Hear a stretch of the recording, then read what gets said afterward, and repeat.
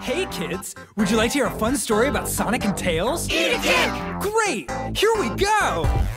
Sonic the Hedgehog, hero to all. When the world needed saving, he would answer the call. His little friend Tails was part of the team, but he was shitty and small and had low self-esteem. So when they gathered all the Chaos Emeralds, Tails told the man put him under his genitals. He pawned them all in a spending spree for his crippling addiction to PCP.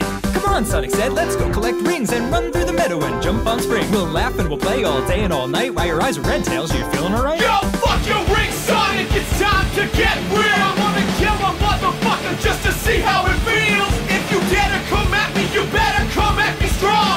your sorry ass legs if you look at me wrong!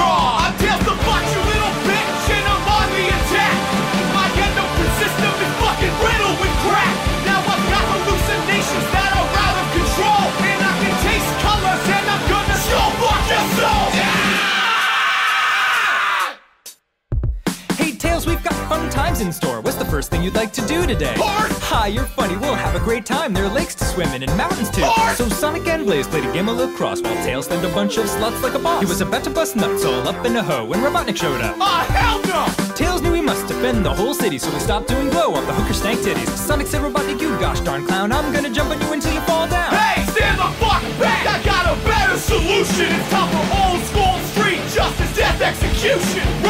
bitch, here's some motherfucking caps for your head. Now egg-shaped cocksucker's dead. I'm Tails the Fox. Do I have to fucking say it again? I am exploding with evil that you cannot comprehend. I just committed a murder, but there is no time to rest. Let's get our friends over, have a giant forest fest.